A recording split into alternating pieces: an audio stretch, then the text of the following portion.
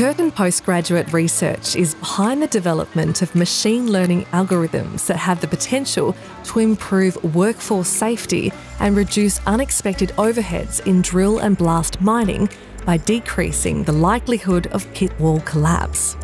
Exploration drilling prior to mining offers only a limited representation of the area's geotechnical characteristics. This can contribute to inaccurate forecasting, leading to potentially flawed pit wall design as mining gets underway. Machine learning algorithms now make it possible to take the data gleaned during the drilling of blast holes and interpret it in the lead up to loading the holes for shot firing. By applying the algorithms to a combination of existing datasets, the technology generates high resolution rock mass characterization models in real time. Geotechnical hazards can be identified and assessed before blasting, adding confidence to orebody knowledge.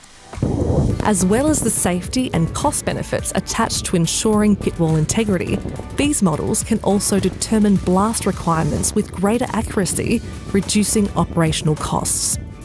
An upcoming live simulation of this technology will be timely, with major Australian and international mining companies interested in the potential of applying machine learning to open pit mining.